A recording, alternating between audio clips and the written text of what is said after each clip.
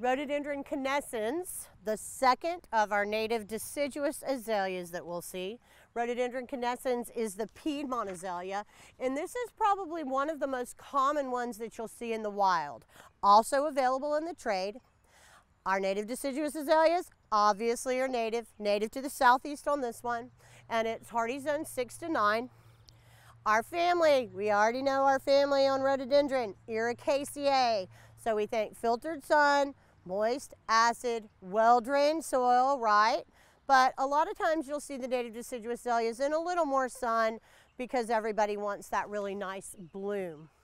Not a whole lot different from the Austrinum as far as ID, and it would be hard to ID without flowers between the two. The native deciduous azaleas look similar when just in foliage.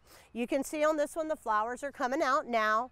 The trusses, remember, is what we talked about calling the flower clusters on the rhododendron. So it flowers in these terminal trusses, that funnel form type flower. The other thing we talked about when we looked at the evergreen rhododendron was how to tell a true rhododendron from an azalea, right? And we counted stamens, and you can see one, two, three, four, five.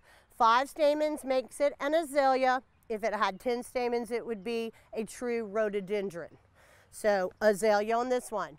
You get a nice fragrance off this flower as well and the pretty pink color.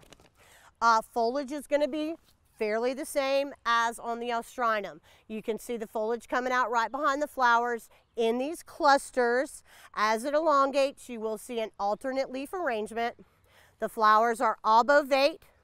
Sorry, the foliage is obovate. It's narrow, about two to three inches in length. You still have that little bristle on the tip and you will find some pubescence, especially when young, and then mostly just pubescence on the veins as they get a little older there on the underside. Uh, your habit, upright, vase type habit, we'll see this one anywhere between about 10 to 15 feet but a great one for mixed borders, a great one for naturalizing, and everybody lives to see azalea flowers in the spring.